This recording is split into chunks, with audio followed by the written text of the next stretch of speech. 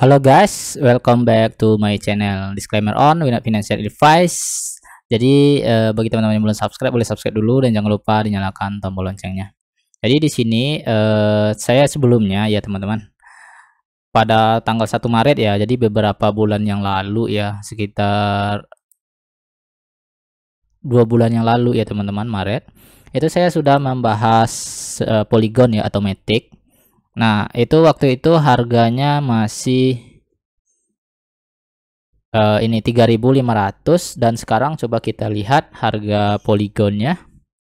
Ini saya lihat di CoinGecko aja ya. Kita samakan aja dengan yang udah saya lihat sebelumnya. Uh, Polygon ya.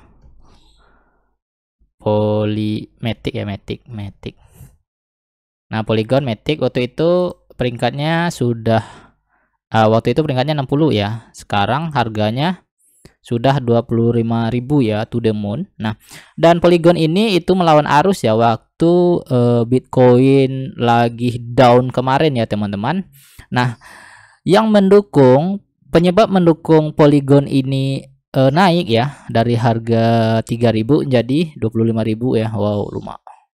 Luar biasa ya, teman-teman. Sampai 25.000. 3500 jadi 25000 ya. Memang to the moon dia harganya. Total supply-nya yaitu 10 miliar ya teman-teman. Nah, jadi di sini ada sebuah berita ya tanggal 26 kemarin dan itu eh, tanggal 28 ya. Dan ini mungkin salah satu penyebab membuat Polygon ini eh, jadi naik ya karena di sini Google itu mendukung mensupport Polygon ya. Nah, kita coba translate dulu tidak bisa bahasa Inggris. Nah, di sini ya uh, Google Cloud sekarang ya. Jadi Google Cloud itu yaitu tempat penyimpanan secara cloud ya itu ya teman-teman. Nah, sekarang itu memberikan wawasan blockchain ya. Jadi untuk jaringan Polygon. Nah, di sini dia Polygon ya. Nah, jadi uh, didukung oleh platform BigQuery Google dikatakan menyederhanakan analisis data blockchain jaringannya. Teman-teman. Jadi teman-teman tahu sendiri lah ya Google ini apa ya. Kita coba dulu baca ya teman-teman di sini untuk beritanya. Jadi data blockchain untuk Polygon, solusi uh, penskalaan Ethereum telah hadir di platform Google ya. Jadi saat ini uh, Matic itu masih uh, berjalan di jaringan Ethereum ya. Dan jaringannya itu Polygon ya teman-teman. Di sini kalau kita lihat uh, maksimal harganya itu sudah naik dari harga 3000-an ya. Wah, lumayan juga naiknya teman-teman. Udah sampai 35.000 ya di all time high-nya. Nah, di sini dia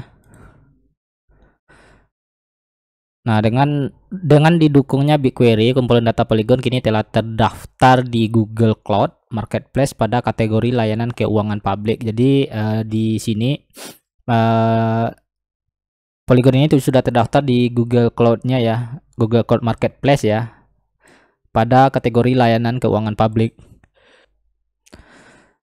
Kemudian Kemudian ada manfaat potensial dari integrasi yang dikatakan mencakup pemantauan biaya gas dan kontrak pintar dan menentukan token atau aplikasi paling populer di jaringan.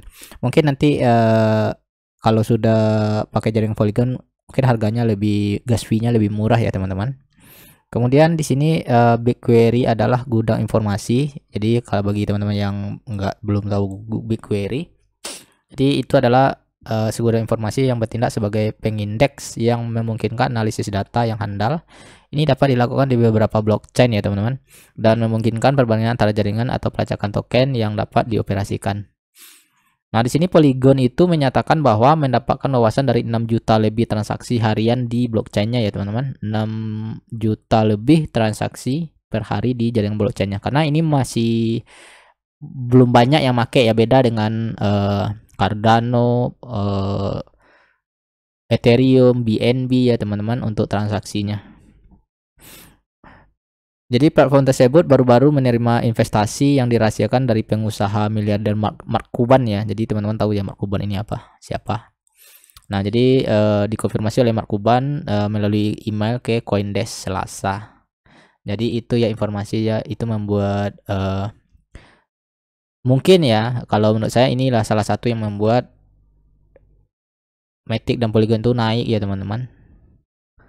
Nah karena uh, ya Google ini ada perusahaan raksasa. Siapa sih yang nggak memakai uh, layanan Google pada zaman sekarang ini ya? Mungkin ada dari penduduk dunia ini sekitar 80% atau 90% yang memakai murni memakai uh, mungkin nggak semuanya ya mungkin uh, ada salah satu seperti YouTube kita butuh pakai YouTube ya seperti saat ini uh, saya rekam video di YouTube. Nah jadi itu ya teman-teman. Nah kemungkinan nanti uh, bisa akan naik lagi ya tergantung siapa yang mendukung nanti Polygon ini ya teman-teman. Jadi itu aja sih informasi yang berkaitan dengan Polygon bagi teman-teman yang menghold Polygon dari harga 3000 saya ucapkan selamat ya teman-teman.